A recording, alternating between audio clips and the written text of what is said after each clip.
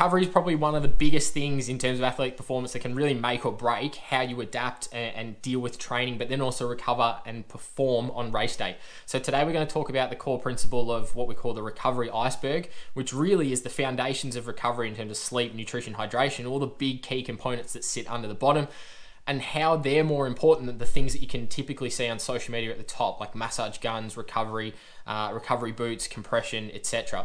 So let's get stuck into the basics of recovery to really take your preparation for training and racing to the next level.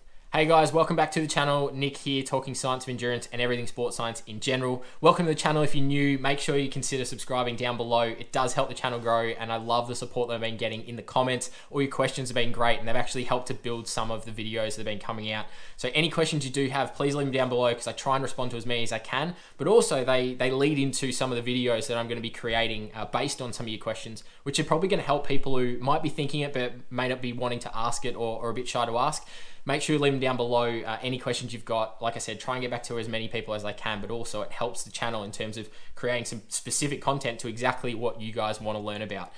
Today's video, as I said in the intro, is all about the recovery iceberg and what is recovery, uh, the foundations of recovery, and what do we need to get right. Because a lot of the time we see on social media, we see things like massage guns or recovery boots, compression garments, all of these things, ice baths even, that elite athletes are engaging in or, or other people online, influencers, etc., are getting stuck into. But are they actually the foundations of recovery? And it comes down to this principle of the recovery iceberg, in that typically when you look at an iceberg, the thing, the, part of the iceberg that you can see is a very small percentage of the whole.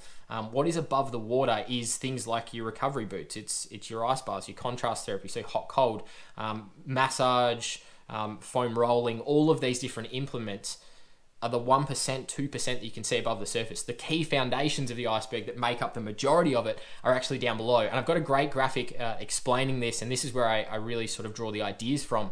Uh, is the, I found this uh, on Twitter, put it up on the screen now. Adam Crook um, put out this a, a, little while ago, and it really shows get the 90% uh, right first. All the stuff below the water, the basics, the foundation. You set a solid foundation there. Then the 10% at the top, the little tweaks, those those little things that we can do, and, and sort of the fun stuff we talk about when we see recovery uh, are really going to start to make a bit more of a difference than just using them on your own.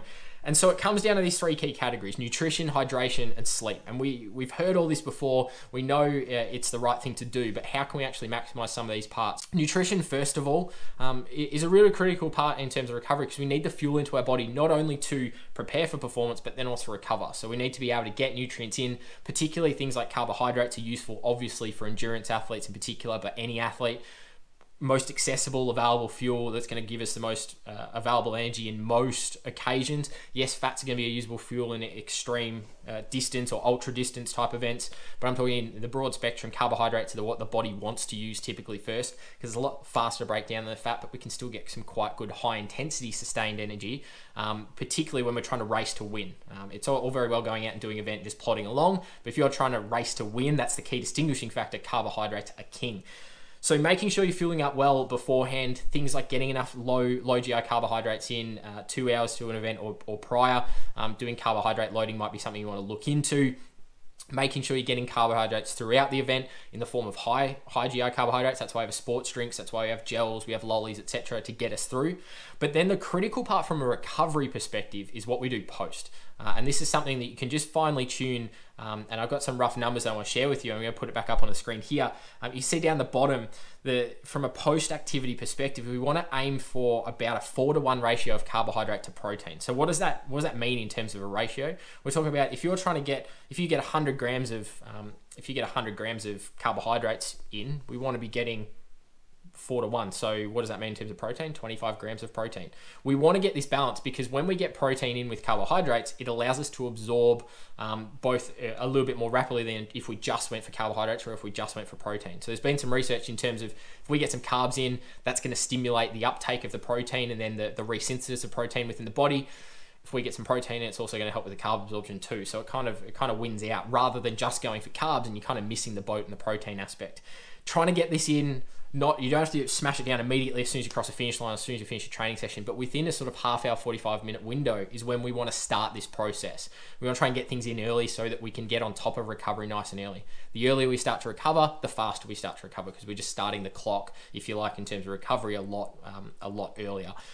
Another a guide to go off is trying to get about 1.5 grams of carb, uh, carbohydrate per kilogram of body weight. So we don't have to necessarily get down into the nitty gritty of calculating this every single time we're having something post activity, but it is a good guideline to make sure you're getting enough.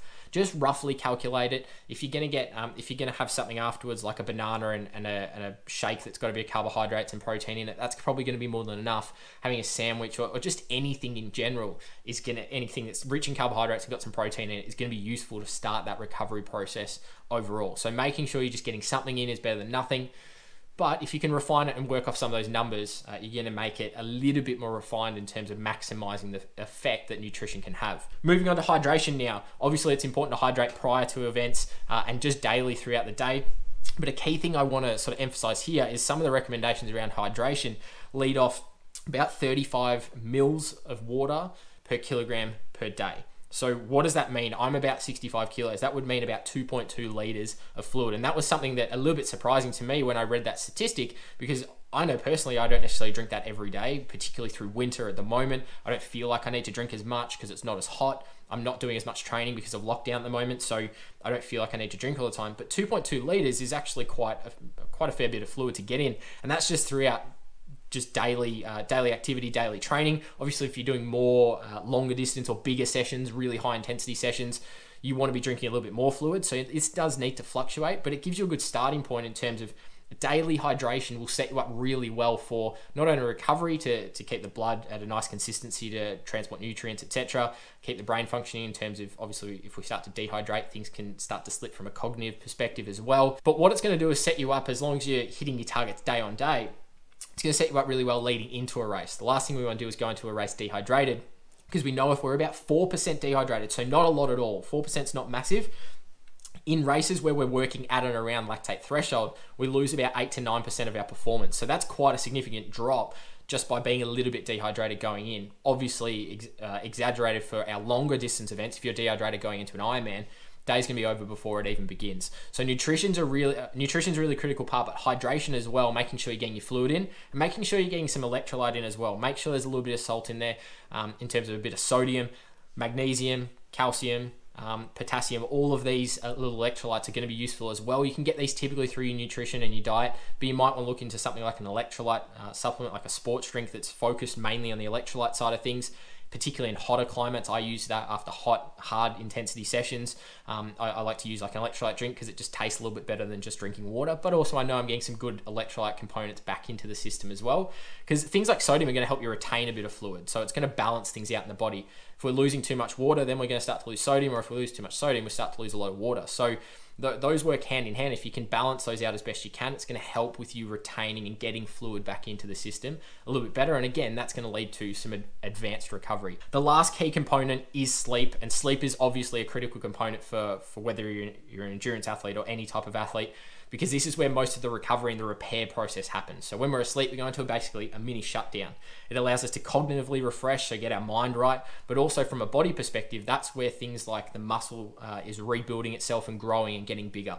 Um, every time we go out and train, we're damaging the body deliberately to then grow and adapt above and beyond. And if we're not getting enough sleep, that process is really inhibited and nutrition and hydration lead into the sleep process because if we've got fuel in the body, we're well hydrated and we have some really good quality sleep, all of it together comes together and, and, starts to recover us a lot quicker. So a couple of guidelines around that. We know about eight hours for the average person is typical in terms of what we want to aim for as an ideal. For athletes, it actually extends up eight to 10 hours is a bit more of our critical range. Why? Because we're doing more work than the typical average person. When I say average person, let's say nine to five job, um, not doing too much either side of that. They're just going to work. The physical demand's not on them. As athletes, we need to have a little bit more sleep because we've got that physical damage we're trying to recover from, as well as the psychological stuff and the cognitive refreshing that we need from our work, from the stresses of training, etc. as well. So making sure you're aiming for that. You don't necessarily have to get eight to 10 hours in one bank. If it's not practical for you, that's okay. There's some good research in terms of napping is effective, but napping for only, say, 45 minutes at a time is much more effective than trying to have a three hour nap in the afternoon. Um, why? Because 45 minutes is roughly sort of one sleep cycle Short and sharp, it's just enough to reset and, and get you to go again. But again, the focus should be on getting that bulk of the sleep done sort of overnight, eight to 10 hours when, when it's practical in a, in a single block. Give our body as much time to recover as we can. And if you need that top up, because you couldn't quite get that eight to 10, or you just want a little bit of extra because you're in a big training cycle, I know that can happen as well. You just want that extra 45 minutes. Having a nap in the afternoon can be actually really beneficial to then lead you into another training session or recover from an afternoon session even. But just make sure you time it so you're not leaving it too late in the day and you're, having a nap and then you're having dinner and then you're having to try to put yourself to sleep again and you can't get to sleep. Make sure you have it early enough that you know, all right, I'm going to ride this wave out. It's going to refresh me a little bit for the afternoon, and then I can get into my normal sleep as I would at night. Finally, a couple of tips in terms of improving your sleep and a bit of sleep hygiene, if you like. Dark room is obviously uh, best. Try to keep the lights uh, down or slowly dim the lights as you're getting closer to when you're going to go to sleep things like staying off electronic devices away from phones, laptops, um, computers, tablets, whatever it is, to, to try and limit as much exposure to light. We want to try and get the room and environment as dark as possible because that's going to induce our natural sleep hormones to, to really drive us into a sleep state and want us to go to sleep a little bit quicker. So bringing those uh, out of the environment or taking them away uh, about 45, 60 minutes before we start to sleep is really going to accelerate that process of getting to it, getting to sleep a lot faster making sure the room's at a nice temperature. Too hot is obviously we, we common sense. If you're too hot, it's going to be hard. If it's too cold, it's also going to be difficult to sleep and you're going to be uncomfortable either way. Making sure the room is quiet too. It, it can be quite difficult if you're living next to a railway line or a busy city you might find it's difficult because there's just external noises. So finding some things like you might want to put up some stuff on the wall, you might want to put some um, heavy carpets on the floor to try and sound deaden the room, things like that, to try and absorb as much sound as you can so you can really um, reduce the amount of sound in there and keep things nice and quiet. There's just some basic tips. There's a few other things you can get into, but that'll get you a really good head start on getting some really good quality sleep. So hopefully you got a little bit out of uh, today's uh, video about the recovery iceberg. Like I said, the bulk of the work is what we can't see under the water, nutrition, hydration, and our sleep.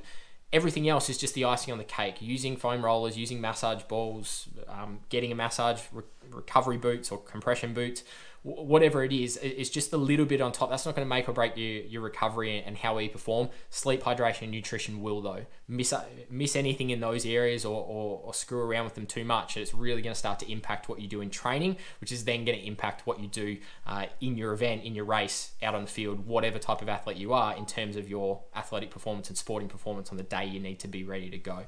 As always, please leave any questions or comments uh, down below. Really appreciate being able to interact with you guys. If you haven't already, please hit the subscribe button uh, to keep up to date with the latest videos. That is it for today, and we'll see you in the next one.